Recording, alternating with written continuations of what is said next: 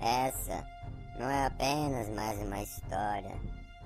Posso lhe assegurar que você nunca ouviu nada parecido, nem tão assustador. Conheça a história de Joshua, o menino maldito. Tudo começa na pequena cidade de Homertown, no sul dos Estados Unidos, no ano de 1887.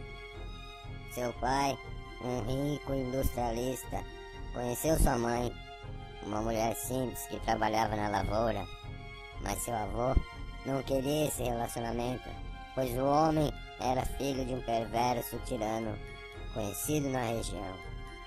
Então, decidiram fugir. O que aconteceu inesperado? A avó de Joshua conhecia uma velha bruxa e encomendou um feitiço.